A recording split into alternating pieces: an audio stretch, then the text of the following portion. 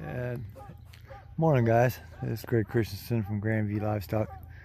Hey, we're fixing to uh, move these sheep on, oh, down the road about another mile. It'll be closer to the house. And then we'll work them on uh, Monday there probably. But they've worked this pasture over pretty good. There's, you can see what they did to that that uh, hedge tree there, and this locust tree is. Uh, pretty well worked over.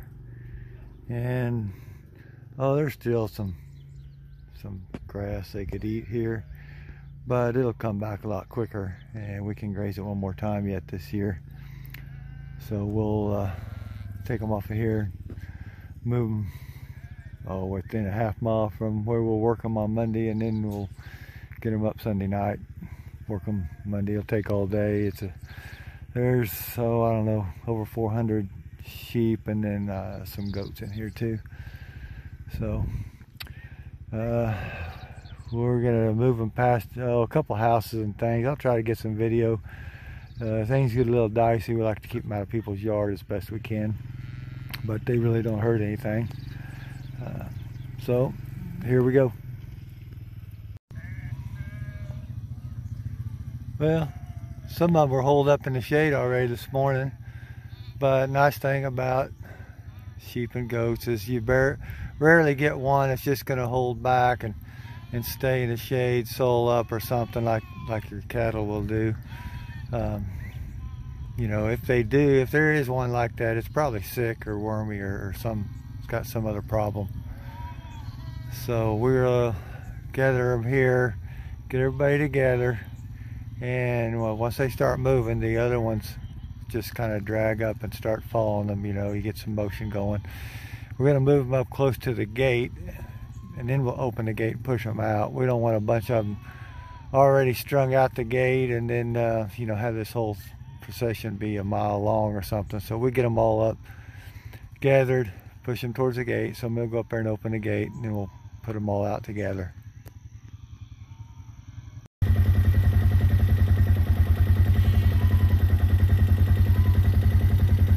You can see some of them kind of heading for the shade, but they'll come out and follow them others as soon as we turn them up towards the gate.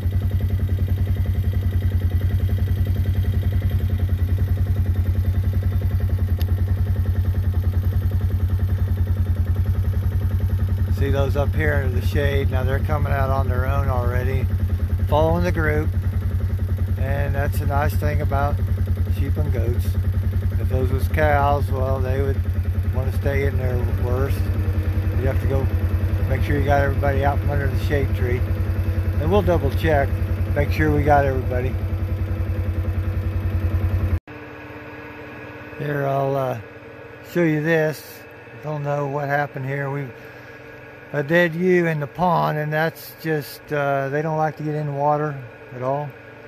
Uh, it's pretty rare. Only one other time that I found one like that, and it was alive, and I could tell it had been attacked by a predator or a dog or something and it ran into the pond ran into the pond to get safe and it got stuck in the pond. Actually we got it out. It was still alive. We didn't know it was. And uh, that's what happened then. But I don't know if that was the case here. I don't know any other reason that that ewe would be out in the middle of this pond and, and drown like this. But it does, she doesn't appear to be stuck she's on her side. Um, but you know that's uh, that's the sheep and goat business. So so there you go. So we got them gathered here. Travis is going to go up there and open the gate. But uh, that way they're all together. You just want to take everybody all at once, all through the gate, on down the road. Nice, tight little group. It's easier to control. I don't know about you guys. I, I, never get tired of doing this. Maybe you guys get tired of watching it. But uh, you can fast forward through it or you can turn it off. But uh, it's just part of the fun stuff. That fixing a water leak, that's not part of the fun stuff, but it's just part of it too.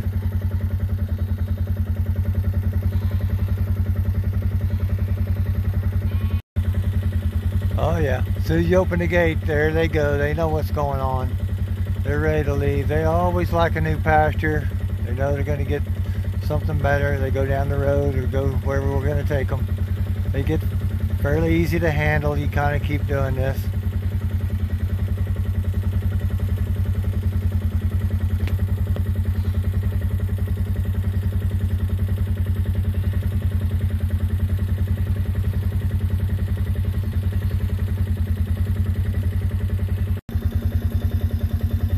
So we've done this enough now that the guard dogs are used to what we're doing. They're used to uh, the working dog, Autumn and, and Bit coming up here.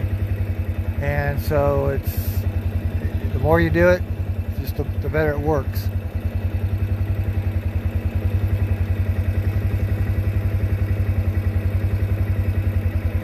Yeah, sheep, sheep are about the easiest thing to move.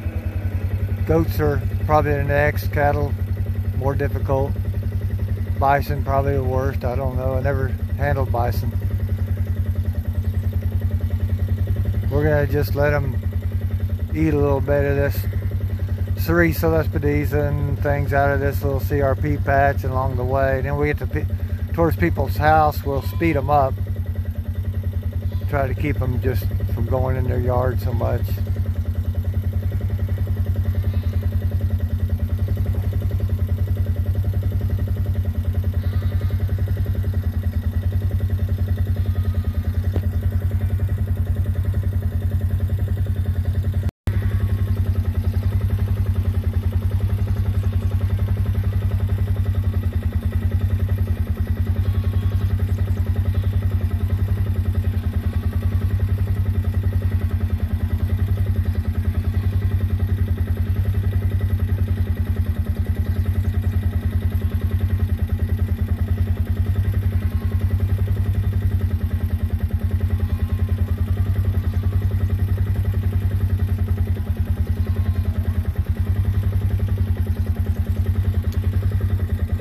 Yeah, Quinn will go down there and just kind of keep them from going too fast. You get some that want to run, you get some that want to lollygag. They get strung out.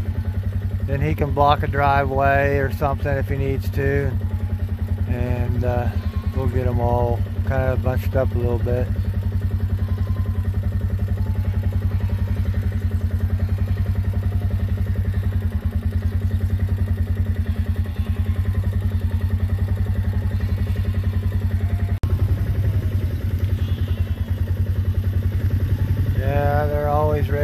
Side of the road.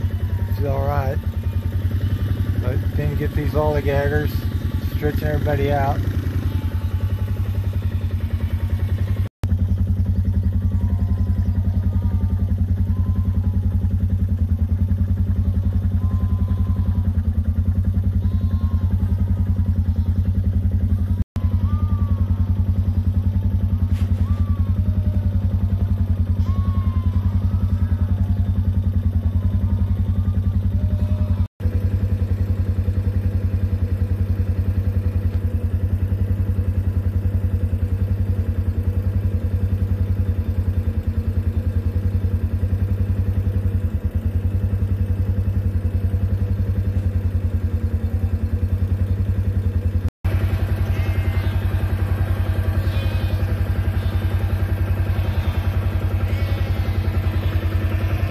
Once a few come through the gate, the rest of them will come on through.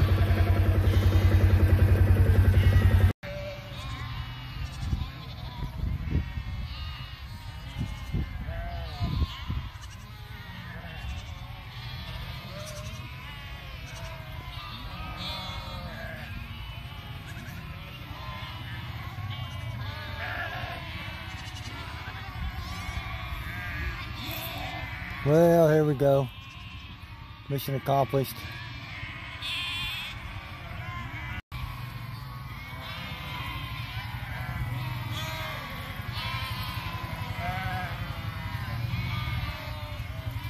Yeah, we had a little more problem. Had a few spills in some driveways and things. I knew we were in trouble. We opened the gate and about half the ewes took off running and uh, we were left with a bunch of lambs in the back.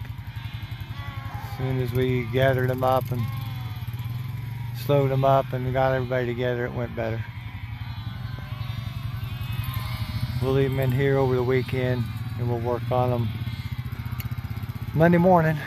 Be a big day.